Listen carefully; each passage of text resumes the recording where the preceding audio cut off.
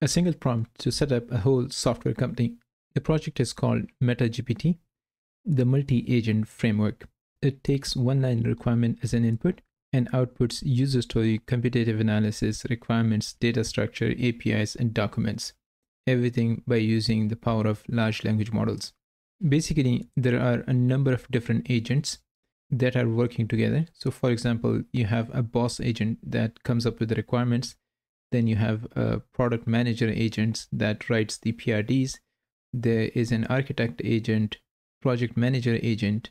There are engineers who implements the code. And then there is a QA agent, which looks at the quality of the implementation. It's an amazing project because with a single line of requirement, it feels like you have a whole group of people who are implementing different things for you and you get these great visuals of the architecture as well. In this video, I'm going to walk you through a step-by-step -step installation process.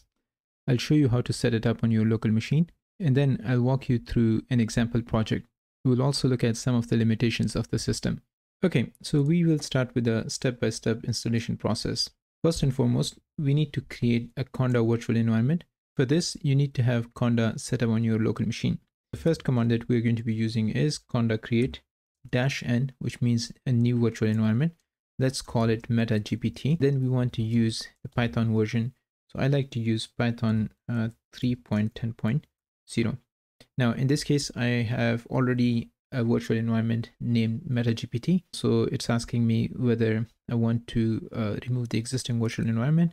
So I'm going to say no, right? But in your case, you need to say yes, and it will go on and create the virtual environment for you. After that, we need to activate the virtual environment that we just created. So I'm going to type conda activate and then meta GPT. And you see that the virtual environment is now activated on my computer. Next, we need to check if you have node installed on our machine. The way you check it is you type npm and then dash dash version. I'm running this on a MacBook and I have already installed npm. Uh, so that's why I see this. But let's say if you don't have npm installed, then you're going to type brew install npm, and that is going to reinstall npm on your system.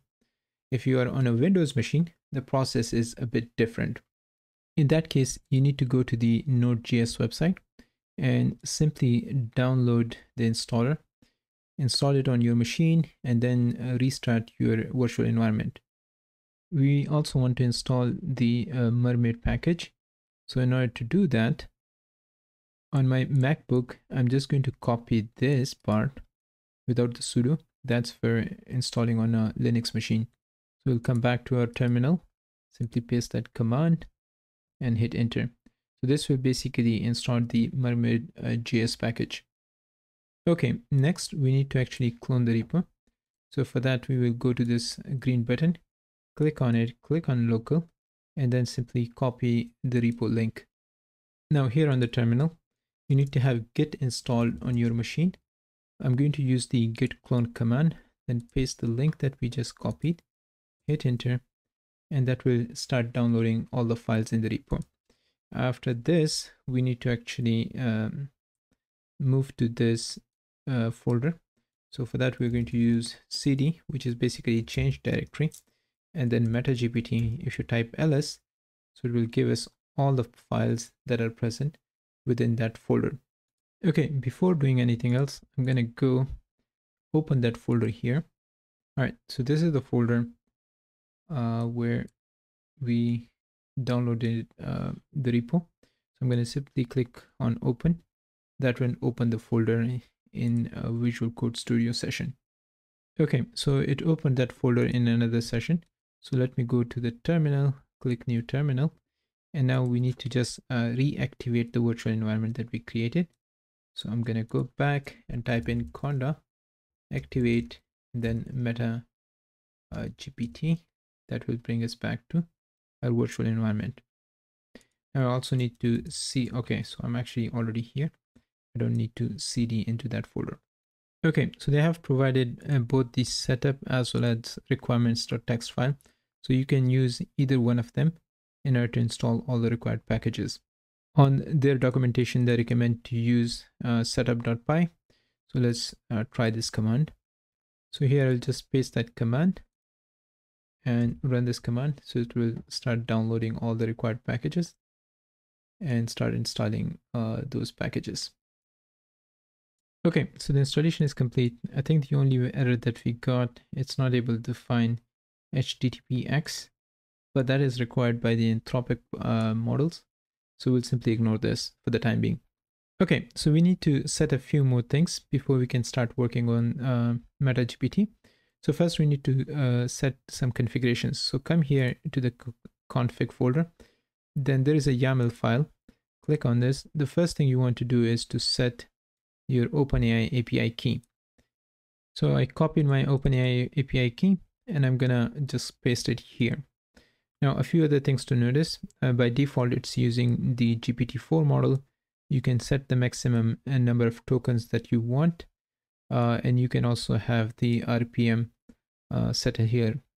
Now, apart from the OpenAI models, there is support for other models as well. So for example, if you want to use uh, Azure endpoints. So you can set those here. Uh, for search, you can set up different search engines.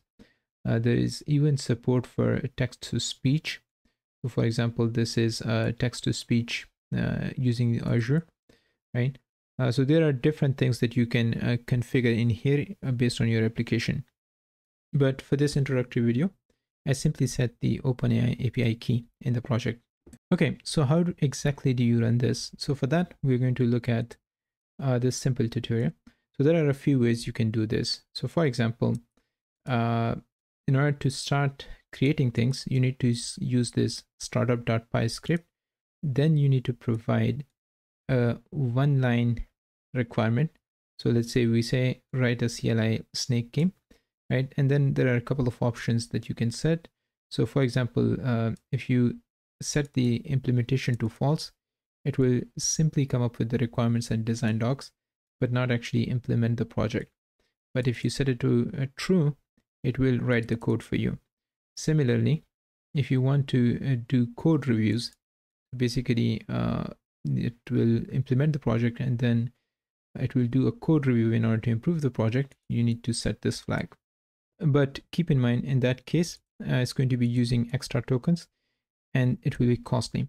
So what we're going to do is I'm going to simply copy this example prompt and then uh, I'm going to use this implement equal to true so that it actually implements the code.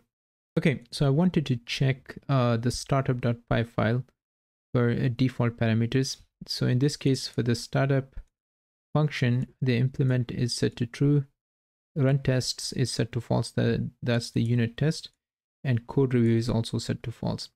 But if you come down, uh, actually even implement is set to false. So by the default, it's not going to implement the code, right? So we'll have to uh, manually provide that. So I'm, what I'm going to do is I'm going to copy the command that we copied. And after that, I'm going to say dash dash implement and we will set this to true. Uh, for this example, I'm not going to set code review to true because that's going to use extra tokens. And let's see what it comes up with. Okay, and we run into an issue. It says no module named six. So what I'm going to do is I'm going to uh, also run the installation using the requirements file. And let's see if that fixes it. If not, then we are going to manually install that package. Okay, so uh, the requirements installation is complete. Let's run this command again and let's see what we get. Now it started the process, so it loaded the configuration. It says it can cost up, uh, up to $3. So that's the total investment that we're making. Then uh, here are the project or product goals. So create a CLI snake game that is easy to play and, and understand. Then based on these requirements, it even came up with uh, user stories. So basically for software engineers, or product managers, you uh, create different user stories. Now, it also does the competitive analysis, which will come up with competitive quadrant chart. So we'll look at uh, some of the plots and uh, images that it generates. So it talks about how it's going to implement it. Uh, it's going to implement these different Python files. Apart from the Python files, it also is going to implement data structures and interface definitions. Now, this seems, this seems to be an evolution of projects like GPT Engineer and Aider, and it's doing a pretty good job so far. Now, here you can see it started implementing the code. Okay, while this is being implemented, let's go and see this workspace folder. So if you click on this, it actually created another folder inside called uh, CLI Snake game. Uh, and within there, there's another uh, CLI Snake game, which is actually implementing all the uh, Python files right now.